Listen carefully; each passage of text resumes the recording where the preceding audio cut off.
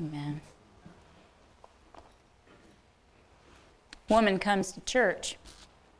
She comes in the back and she meets the usher and she tells him she wants to sit on the front row.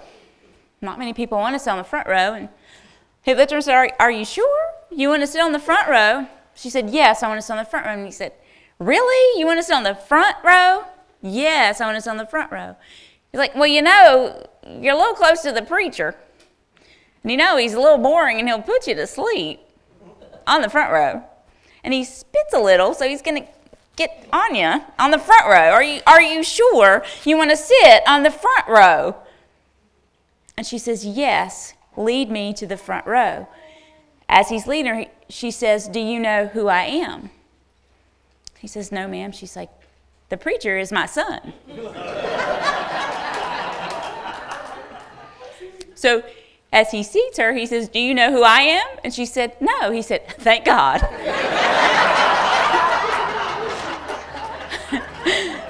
My daddy told me that joke.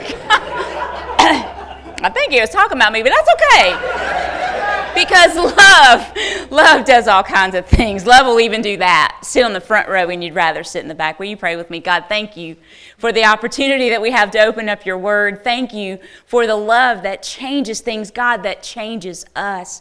Thank you that you come in so many ways, but you came in unexpected ways so we would understand that we too are included in your incredible plan. God, thank you that nothing, not one thing is impossible with you. So open up your word, God, so that we find in there hope and peace and love and great joy. We ask this in the name of Jesus. Amen. James Crane worked on the 101st floor of Tower 1 of the World Trade Center on that infamous day in 2001. James is blind and had a service dog, a golden retriever named Daisy. After the plane hit 20 stories below his floor, James knew that he was doomed. And so he let Daisy go out of an act of pure love. He let his dog go. Daisy darted away into the darkened hall. Choking on fumes of the jet fuel and the smoke, James was simply waiting to die. Amazingly, though, about 30 minutes later, Daisy comes back along with James's boss, whom Daisy happened to pick up on the 112th floor above where they were. On her first run out of the building, she led James, his boss, and about 300 more people out of that doomed building. She wasn't through yet, though. Daisy knew there were still others who were trapped so highly against her master's wishes. Daisy ran back into the building to get some more. On her second run, she saved 392 lives. Again, for the third time, she went back in the building, and during this run is when the building quickly collapsed. James hears this and falls out of his chair and onto the ground in tears. However, against all known odds, Daisy made it out alive. But this time, she is carried by a firefighter who said to James, Daisy led us right to the people before she was injured. The fireman explained Daisy's final run saved another 273 lives. In her heroic, love driven efforts, she suffered acute smoke inhalation, severe burns on all four of her paws, and a broken leg, but she saved 967 lives. Daisy is the first civilian canine to win the Medal of Honor in New York City. Only love would do something like that, wouldn't it?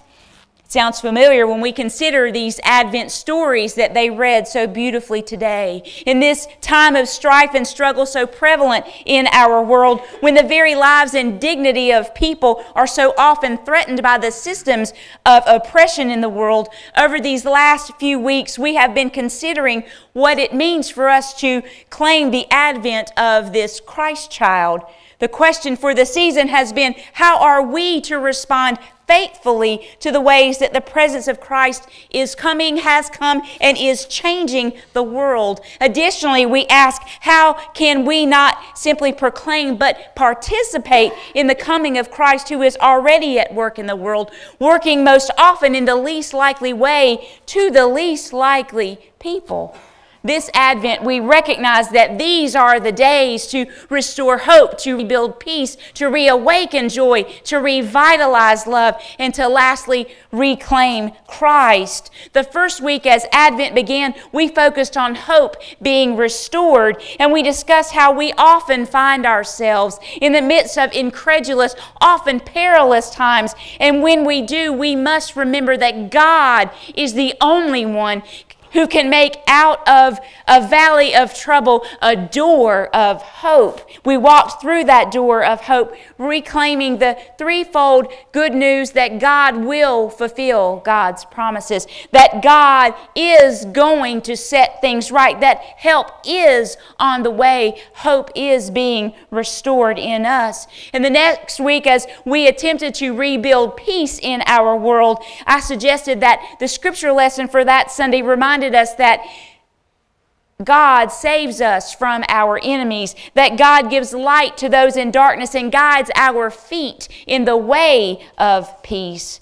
Last week, we found ourselves midway through the season and we considered what it means to reawaken joy within us. And I said that that might happen because our scripture lesson reminded us that God is standing right among us, a champion ready to rescue us. That God also will gather the outcast and the oppressed, and that God will re- return and restore to all that which has been lost. But today, let us rediscover how we might revitalize love. I would suggest that we do that by understanding that love, the all encompassing, far reaching, ever searching love of God, would do, of course, three things come as an unexpected baby, two, an unexpected unwed teenager, a barren woman, and the lowly shepherds. And then lastly, that God and love came for the unexpected for all of the world. The Christmas story is so unexpected, so unpredictable, so unlikely, almost impossible until we read the words, but nothing is impossible with God. I mean, think about this. The Jews were anticipating for thousands of years, they were anticipating this Messiah that would come, who would come and rescue them from their enemies, who would relive, uh, who would uh, relieve them from their enemies and from their trouble, and who would for them set everything right and in place. Things that were out of whack were straightened out. Those who were expecting a political king, a mighty warrior, and a world diplomat, to those people, God sent them a baby. A what? During this season of Advent, we realize that God comes to earth first as a baby. A baby can do nothing alone or for itself. A baby needs help and lots and lots of it. A baby cries often, except Addison, who hardly ever cries, and needs changing frequently. A baby is solely and completely dependent on others. You've been there, right? You've been in need of help, and lots of it, in fact. You cry often and need changing frequently, literally and figuratively. Perhaps God came as a baby so you might understand that God can relate to you and your predicaments, or as my Kim often says, situationships. What kind of political power, warrior qualities, or diplomatic characteristics does a baby have? Not one. Only God would send a baby to do the work of a Messiah, to do the job of a Savior, a Savior who would set things right with the world and with us. Saints only love would do that. God sending a baby to do the Savior's work reminds us that God loves us that much. God sends a dog in a building to save over 900 lives, something one person could not possibly do. Only God would love us so much that God would send the most unexpected gift of a baby to the world, a world that longed to be freed from the many things that had imprisoned them, a world that desired to be relieved from the strife they felt because power was secured only by those in power. Some things never change. And yet love came and changed all that as a baby and no less in a manger. Secondly, love came to the most unexpected people. Think about this love first came to an unwed teenager.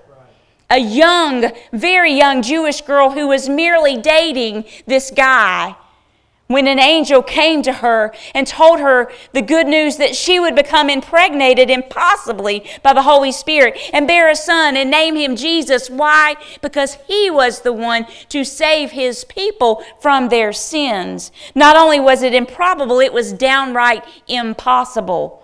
Who would believe that? And yet, you've been there, right? You've been placed in a precarious situation where you weren't sure how you got there, and more importantly, you have no idea how you would get out of there, right? You've been in a place of inexperience and a huge task or responsibility has been dropped in your lap, right? Something that at your age you should have never had to deal with. You became an adult in second grade. When you, as a child, had to raise your own brother who was also a child because your parents could no longer adult. You've been there, right? And yet, like Mary, somehow you're able to do that thing God asks you to do. And you get through it. You outlast the rumors. You survive the stares. You overcome all the obstacles. Perhaps that's why God came to an unwed, inexperienced, unlikely teenager and asked her, of all people, to bear the Son of God.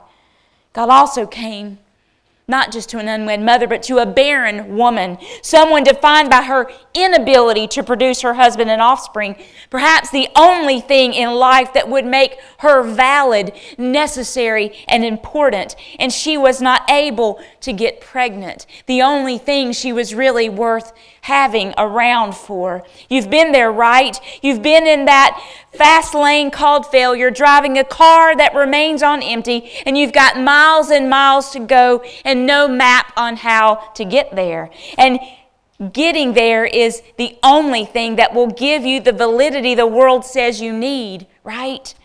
Like Elizabeth, you've been there. Perhaps that's why God also came to people like her who haven't quite lived up to their potential, and yet God makes a way for you as God made a way for her unexpectedly, later than she or we ever hoped, after it seemed a little too late, however, before hope was all gone. And yet, even after that, this unwed teenager and this older barren woman, God shows up again to some unlikely characters to share the good news of the Christmas story, and this time it was to some shepherds. The lowest people on society's totem pole, those who took care of the earth's dumbest animals. God, ever heard of a team called sheep? No. You hear of the bears and the bulldogs and the lions and the warriors and the right? But have you ever heard of a school called sheep? No. Because you don't want to be a sheep do you? Sheep are passive and hairy and right? I mean you don't that, woolly woolly. Please erase that part. Can you edit that? God, that's when you don't that's why you don't go off script. God chose to send the angel to these shepherds and tell them about the Messiah who was coming in a manger. And an angel sent them to come to this unknown place in a barn to pay the Messiah who had finally come homage. Shepherds were the least likely first visitors to the Messiah. Those no one would expect to even be invited to the party. And there they are, front and center, the only ones, in fact, initially invited to this party. But you've been there, right? Because of how you identify and whom you love, the world says you're the least likely to be invited or included in God's plan. To many, God certainly couldn't love you. God certainly couldn't love us. And yet, I believe God comes to these shepherds to remind us that there isn't anyone not invited to God's party. Every person gets an invitation to approach the King, to pay him homage and worship him, including shepherds, including you, including me. The least likely, just something else only love would do.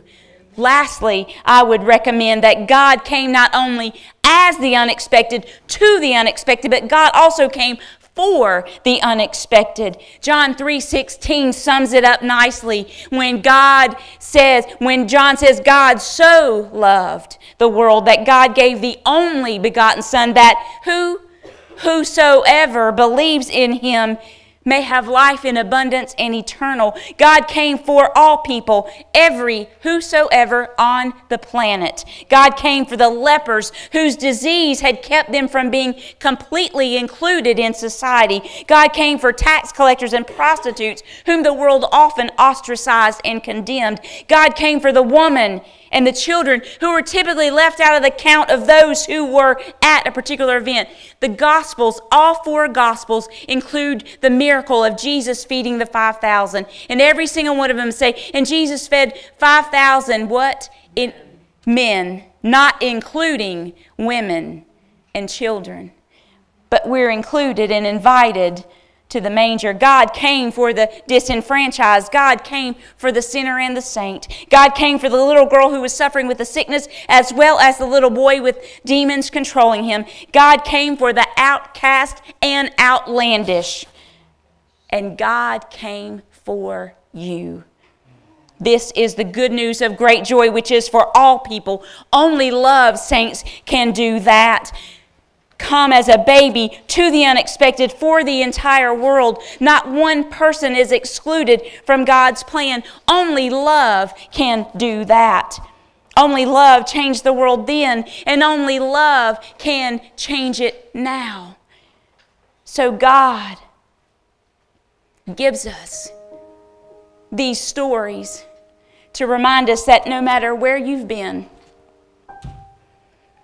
or what you've done, or who you love or how you feel. Regardless of what happens, who wanted you and who loved you, we're included in the plan. May these impossible, ridiculous stories remind you that you too are part of it. Nothing can separate you from the love of God. Not one single thing. Oh, how he loves you. Oh, how he loves me. Oh, how he loves you and me. Saints, may this love change us so that we go and change the world in the name of Jesus. Amen.